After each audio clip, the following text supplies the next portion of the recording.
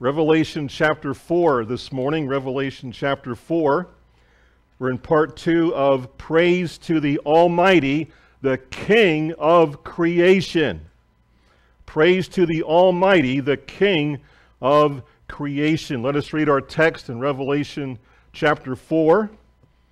It's the whole chapter, actually, and we will uh, uh, take the second part and uh, finish that today. And we want to really, I really want to emphasize that we really focus today on the holiness of God, how holy and perfect and untainted and no sin. And He wants us to do the same thing. Now, we can't do it totally, but we can surely work hard at being holy, getting the sin, getting all of that stuff out of our lives and we want to focus on that and focus on His holiness and His greatness and this glorious holy scene in heaven. Revelation chapter 4, beginning in verse number 1. After this I looked, and behold, a door was opened in heaven, and the first voice which I heard was as it were of a trumpet talking with me, which said, Come up hither, and I will show thee things which must be hereafter. And immediately I was in the Spirit. And behold, a throne was set in heaven, and one sat on the throne. And he that sat was to look upon like a jasper and sardine stone. And there was a rainbow round about the throne, in sight like unto an emerald.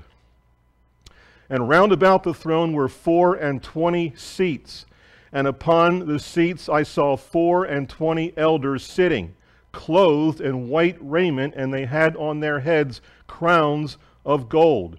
And out of the throne proceeded lightnings and thunderings and voices, and there were seven lamps of fire burning before the throne, which are the seven spirits of God. And before the throne there was a sea of glass, like unto crystal, and in the midst of the throne. And round about the throne were four beasts full of eyes before and behind. And the first beast was like a lion, and the second beast like a calf or an ox. And the third beast had a face as a man, and the fourth beast was like a flying eagle. Now, notice uh, in verse number 8, we have a hymn. And the four beasts had each of them six wings about him, and they were full of eyes within, and they rest not day and night, saying, Holy, holy, holy, Lord God Almighty, which was and is and is to come. And when those beasts give glory and honor and thanks to him that sat on the throne, who liveth for ever and ever. The four and twenty elders fall down before him that sat on the throne and worship him that liveth for ever and ever and cast their crowns before the throne. And here's another hymn saying, Thou art worthy, O Lord, to receive glory and honor and power, for thou hast created all things, and for thy pleasure they are and were created. Let us pray. Father, we thank you and we give you praise for this powerful chapter uh, here in Revelation chapter 4. We ask for uh, your help and direction as we uh, look at it this morning. I ask you, Holy Spirit, to fill me now for the message. Uh, we would see Jesus high and lifted up. We want to see him in his holiness and his power. And uh, uh, it's just astounding the, the vision uh, that you gave John of heaven. Glorious. What a an awesome place. And uh, we ask uh, that you would direct our steps as we uh, consider this passage today. Uh, may it thrill our hearts. May it prick our hearts. May it uh, push us in, in, the directions that we need to go. may we see the holiness of our Savior today. So we're looking to you, lead, guide, and direct in this time. And we ask this in the holy name of Jesus, our Savior. Amen. Last week we looked at point number one praise God because He is the King over all things. Verse 1 to 5, we had four subpoints A to D. A was the plan of God demands our praise. B, the person of God demands our praise. C, the privileges of God demand our praise. And the power of God demands our praise. Today we pick it up with points number two and three. Point number two praise God because he is holy in his nature. So we saw in point number one, we emphasized the kingship. Now we're seeing the holiness of our awesome God. Holiness so defines the character of God that it can be said to include all of the other divine moral perfections as well. Holiness is the, in the absolute sense, belongs only to God, since only God is untouched by evil. To say that God is holy means that he is separate and he is different from all other beings and from everything that is evil. Holiness means that God, being without sin, has absolute moral perfection. His holiness is primarily about separation and transcendence separation, he is set apart from sin and transcendence. He is above all things. The idea behind the concept of holiness is that word separation. It comes from a word meaning to separate or cut off. There are two aspects to God's holiness. First, God is separate or different from all other beings. He is unique. He is one of a kind. There is none else. He has no like. There is no equal. Second, God is separate or cut off from everything that is sinful and evil. When we say God is holy, we call attention to the profound difference between our God and all other creatures, including humans, demons, angels, all of it. It refers to God's transcendent majesty, his august superiority, by virtue of which he is worthy of our honor, our reverence, and our worship. That is a little synopsis of the holiness of God. John continues now in the chapter to unfold his throne room experience. What he shares right now is both magnificent and it is strange. However, John's point is as crystal clear as the sea of glass that he now beholds. Subpoint A this morning his creatures show his holiness. His creatures show his holiness. We find this in verses 6, 7, and 8. And before the throne there was a sea of glass like unto crystal and in the midst of the throne and round about the throne were four beasts full of eyes before and behind. And the first beast was like a lion, and the second beast like a calf or an ox. And the third beast had a face as a man, and the fourth beast was like a flying eagle.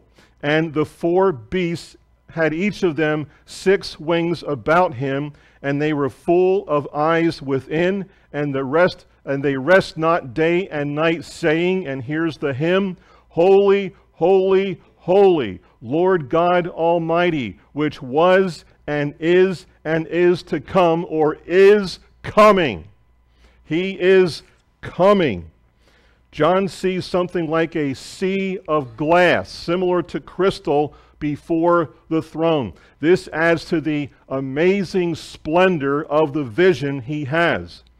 Maybe this represents purity and the lack of any need for cleansing in heaven. There is no need for cleansing of any kind in heaven. You think about your house. You think about what are you doing, especially you ladies, and maybe some of you, you husbands are help out. But I'll tell you what, keeping that place clean is an all week affair. I mean, I've been doing a lot of extra since my wife's uh, uh, wrist has been broken, and I'm getting a real understanding of what that wife goes through. And I tell you what, I appreciate it because, you know, uh, in the evening, I'm so happy and so thrilled. Everything is spick and span. The whole kitchen is beautiful. And by the time we get to supper the next day, it's a total disaster once again. And it has to be all clean. Uh, there is none of this in heaven. No cleansing, no cleaning. It's just one super awesome place. There is no need. Uh, maybe it stands for God's transcendence and His holiness. That it is a sea of glass may pick up on the fact that the sea is usually negative imagery when we read about it in Scripture, as a place that is wild and untamed. Uh, the Lord Jesus went walking on the sea, and it was wild, and the, the disciples were scared for their lives. The sea was wild. But here, here in heaven, it has clearly been tamed, appearing like glass, clear as crystal. And then John sees these four strange living creatures covered with eyes. So the first one we read was like a lion, and the second was like a calf or an ox. The third had the face of a man, and the fourth was like a flying eagle. In addition to being covered with eyes, they each had six wings. Six, not two. These are angelic beings of worship who have the characteristics both of Isaiah's seraphim that we read last time in Isaiah 6 and Ezekiel's cherubim in Ezekiel chapter 1, 5 to 25, and chapter 10, 1 to 22. I'm going to go back to Ezekiel and, and just read a, a few uh, of these verses in chapter 1, and uh, we are going to see a, a similar view of heaven and, and what is happening here. Uh, he ends up, verse number one, and I saw visions of God in the fifth day of the month, which was the fifth year of King Jehoiachin's captivity. The word of the Lord came expressly unto Ezekiel, the priest, the son of Buzi, in the land of the Chaldeans, by the river Chebar, and the hand of the Lord was there upon him. And, and I looked, and behold, a whirlwind came out of the north, a great cloud, and a fire enfolding itself, and the brightness was about it. And out of the midst thereof, as the colors of amber, out of the midst of the fire. Also, out of the midst thereof came the likeness of four living creatures. And this was their appearance. They had the likeness of a man and every one had four faces, and every one had four wings, and their feet were straight feet, and the sole of their feet was like the sole of a calf's foot, and they sparkled like the color of burnished brass, and they had the hands of a man under their wings on their four sides, and they four had their faces and their wings. Their wings were joined one to another, they turned not uh, wh- where they went. Uh, they went every one straight forward. As for the likeness of their faces, they four had the face of a man and the face of a lion on the right side, and they four had the face of an ox on the left side. They four also had the face of an eagle. Almost that same thing, just the, the, the glorious picture of heaven. That these creatures are full of eyes all around. Eyeballs, that would, that drive me nuts. It's bad enough to have two eyeballs staring at you, but these don't miss a thing.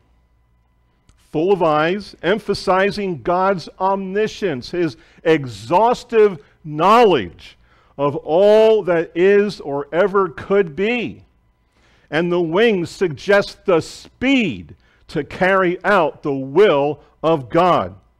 We cannot be dogmatic about the appearance of these four creatures, but we can suggest some truths that God may be communicating to us. First, God is perfect in his authority.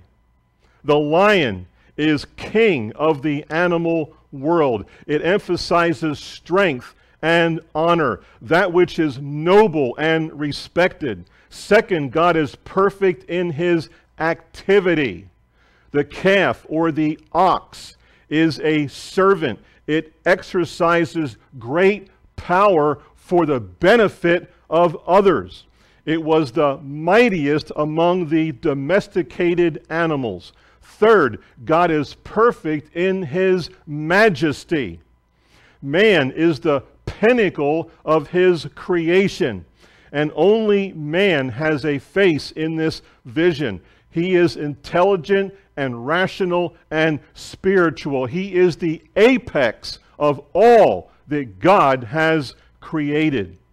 He is God's vice regent on the earth. Fourth, God is perfect in his deity.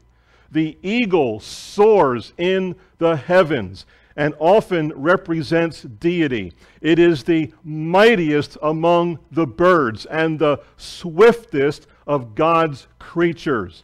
These creatures are strong like a lion. They serve like an ox. They see like a man, and they are swift like an eagle.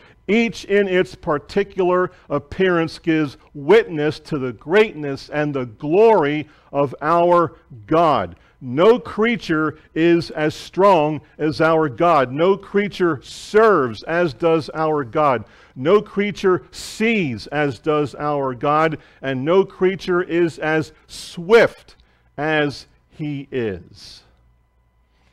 Uh, once in a while, you get to see an eagle. Marvelous, marvelous, bald headed eagles. Just marvelous and, uh, and even just to see them on a video and, and see what they can do and, and those, those claws. that poor fish didn't know what was coming. I mean, they're so fast. They just, they're just, what an amazing creature. So we're looking at his creatures show his holiness. Now, letter B, his creatures tell of his holiness. Adrian Rogers called the four living creatures God's cheerleaders. I like that. That's what they do. They cheerlead for God. Awesome. While the meaning of their appearance may be unclear, their activity is not. They never stop. They're doing the hymn all the time. They're singing that hymn all the time. They're cheering day and night. They never sleep. What are their words? Isaiah 6 tells us what they said Holy, holy, holy is the Lord of hosts. The whole earth is full of his glory. They ceaselessly cheer the holiness of God. They call attention to the infinite holiness of our awesome God. The living creatures celebrate God's holiness and power of the past, of the present, and the future. Such holiness cannot tolerate the presence of evil. So there's a good point when you're dealing with someone who is lost and they think that they will stand before God and they will uh, give their list of the good deeds that they have done or whatever they're going to be talking about, this one thing alone kicks them out. They are sinners and God cannot tolerate sin, cannot have it. His holiness says, I cannot tolerate that. I'm going to run to uh, chapter 21 just for a moment. Uh, and one verse there, 27. Revelation 21 and verse number 27. And there shall in no wise enter into it anything that defileth, neither whatsoever worketh abomination or maketh a lie, but they which are written in the Lamb's book of life. If, if people would just read the Bible, you know, a, a lost person, and I've heard many testimonies, if they would just tick, pick the Bible up and just start reading in Genesis 1 1 and keep on reading, you know what? Before they get out of Deuteronomy, they're going to be converted. Think of that guy that I can't think of his name right now, but uh, he set out to disprove God, and th th this is a bunch of baloney. Well, he was saved not too far into Genesis. The Bible works, it's powerful. We see these creatures and we see the, the holiness that they sing about in their hymns. This hymn is the first of many hymns sung by the heavenly choirs in chapter 4, 5, and other places. I'm going to rattle them off. And I went through uh, my Bible in Revelation and I wrote the word hymn every time a hymn happens in the book of Revelation. So we have a hymn in chapter 4, verses 8 and 11, chapter 5, verses 9, 10, 12, and 13, chapter 7, verses 12, 15 to 17, chapter 11, verses 15, 17, and 18, chapter 12, verses 10 to 12, chapter 15, verses 3 and 4, chapter 16, verses 5 to 7, chapter 18, verses 2 to 8, and chapter 19, verses 1 through 6. A lot of hymns being sung in the book of Revelation. It's astounding. I had never seen that before. In these two chapters, the sequence of hymns shows that the first two are addressed to God, the next two to the Lamb, and the last one to both. Point number three praise God because He created everything that exists. Praise God because He created everything that exists. So, point number one, we praise God because He is the King. Point number two, praise God because He is holy. And point three now, praise God because He created everything that exists. Verses 9 through 11. And when those beasts give glory and honor and thanks to him that sat on the throne, who liveth forever and ever, the four and twenty elders fall down before him that sat on the throne and worship him that liveth forever and ever, and cast their crowns before the throne, saying, Thou art worthy, O Lord, to receive glory and honor and power, for thou hast created all things, and for thy pleasure they are and were created.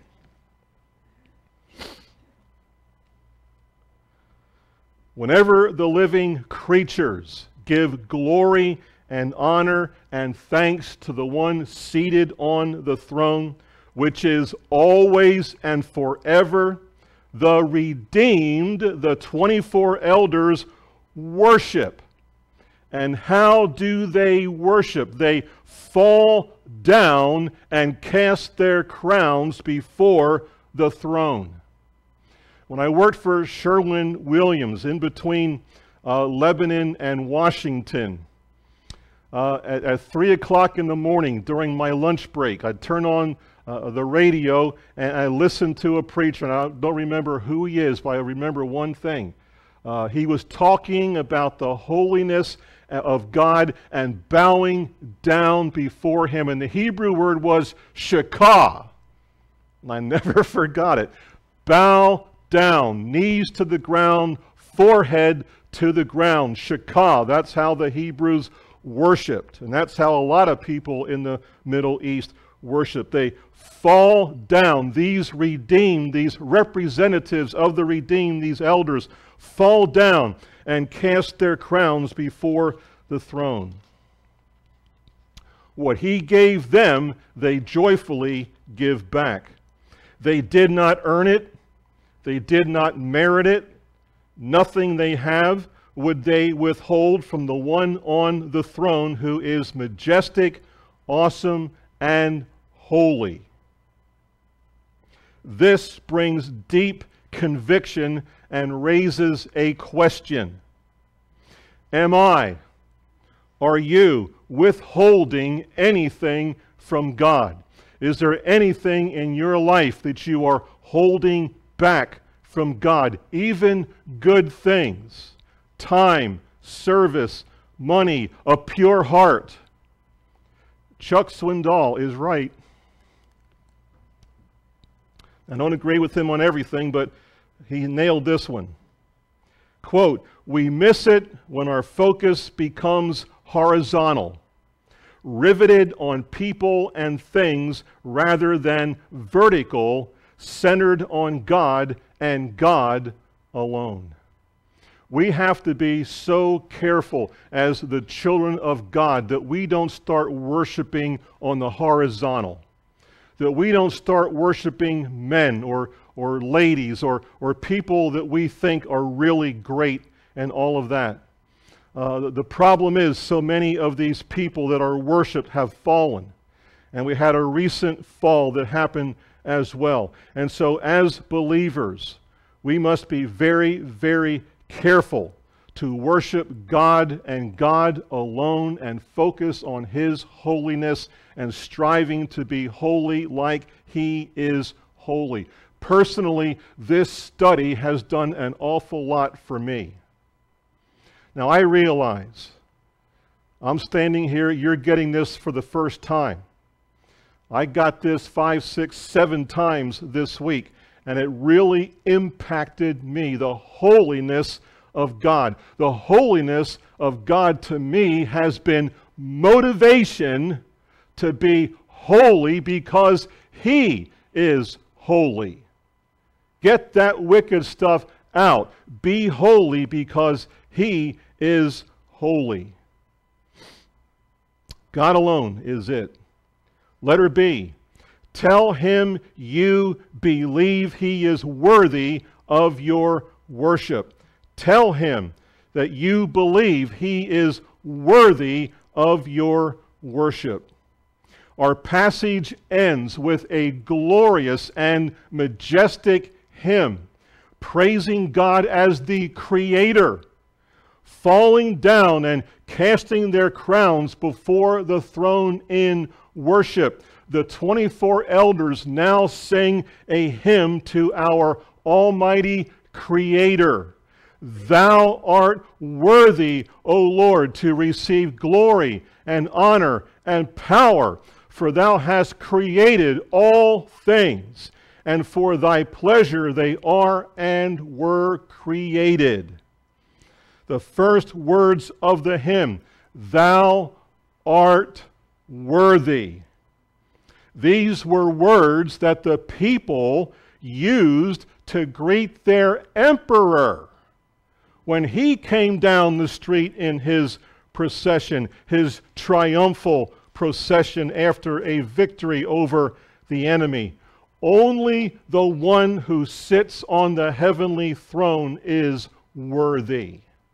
None of those emperors are worthy. None of the great people who have ever lived are worthy. The claim to give them worthiness is blasphemous. If you're here this morning and you are breathing air, and I know that you are, God still has a plan for your life. That alone is worth praising our God for. He has a plan for your life. It doesn't matter how old, how young, where we are, who we are, what we've done, what we haven't done. God has a plan for our life. Last week we ended with the hymn, Holy, Holy, Holy. It found its inspiration in Revelation chapter 4. It was written in 1826 by Reginald Heber, a bishop in the Church of England. And its words provide a fitting conclusion to this chapter. Holy, holy, holy, Lord God Almighty. A.W. Tozer, who lived 1897 to 1963, preacher in the Christian and Missionary Alliance Church, born in Pennsylvania, saved in Ohio. he was on his way home from work. He worked at a tire company. And he walked by a street preacher and he heard the gospel. And when he got home, he went to the attic of the house and fell on his face and believed in Jesus Christ. Now, I'm not worshiping A.W. Tozer. I read his story. I dug into his life this week. He had some we all have our issues. You know, you know what my issues are better than I do. Okay? But he had a couple things that he said. He also wrote that book, Pursuit of God. Uh, I'm sure some of you out there have read it. That made him a household name across America. He, he ministered until he died, never quit. I want to give you two things that he said that I want to note. And I want you to think carefully that these statements were made either the year he died, 1963, or before that. Okay? All right, first thing he said worship is the missing jewel in modern evangelicalism. Worship is the missing jewel in modern evangelism, evangelicalism. In 1963, I was five years old. I think you all can remember, a lot of you can remember that. And you know that the church was a lot different than a lot of it is today. We need to get a grip on the holiness of our God. Now, let me ask you this question. What do you think A.W. Tozer would say today if he walked in here and gave us a little talk? what do you think he would have to say about worship today? The second thing he said the church is on a dangerous course toward compromise with worldly concerns the church is on a dangerous course toward compromising with worldly concerns. Again, what would he say today? We've come a long way since 1963. This is my final thought this morning. Might a glimpse of the God of Revelation chapter 4 help us to rediscover that jewel of worship. Let me say it again. Might a glimpse of the God of Revelation chapter 4 help us rediscover that jewel of worship, a focus on the holiness of God will help us tremendously. I hope it will help you like it has helped me. Let us pray. Father, we thank you this morning for the eternal Word of God. We have dissected a little bit Revelation chapter 4 in two weeks. We have seen the majesty and the grandeur and the awesomeness of our God of heaven, amazing worshiping creatures with great symbolism We have seen your holiness. Father, would you help us as your children here today? Help us to be holy as you are holy. We ask this in Jesus' name. Amen.